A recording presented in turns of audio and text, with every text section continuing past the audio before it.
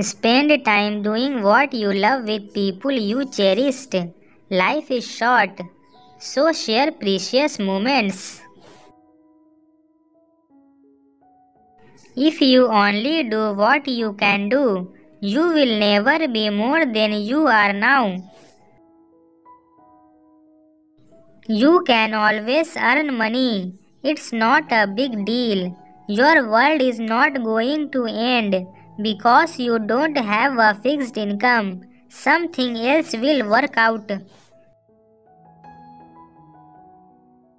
People will always say almost anything when they are happy.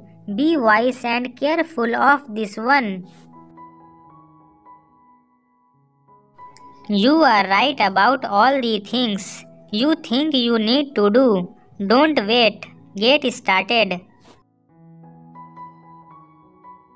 Life may knock you down, but remember, you don't lose by falling, you lose by sitting down. All endings are also beginnings. We just don't know it at the time. You can be friends with people for years, and it would take years to realize they were never your friends. The more you face challenges, the less you fear them. There are only two mistakes one can make along the road to truth not going all the way and not starting. Don't trust the people who tell you other people's secrets. I don't care what you do with your life, just be a good person.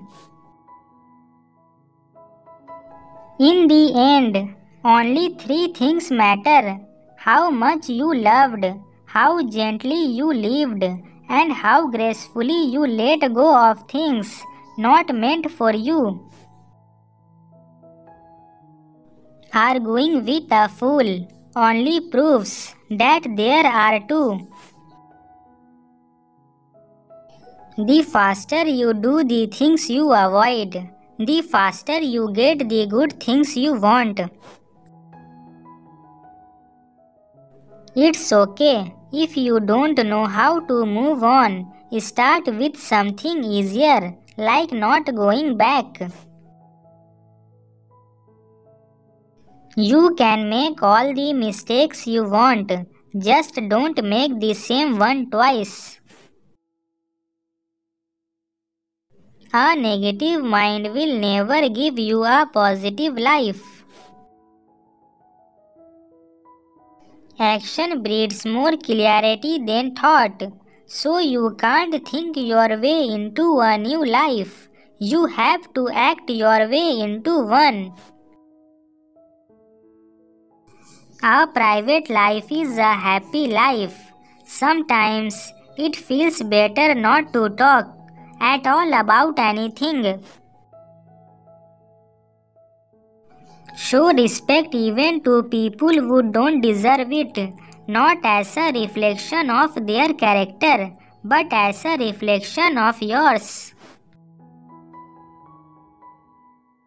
Life is such a great teacher that when you don't learn a lesson, it will repeat it. Loneliness is the most terrible form of poverty. If you want to change the world, go home and love your family.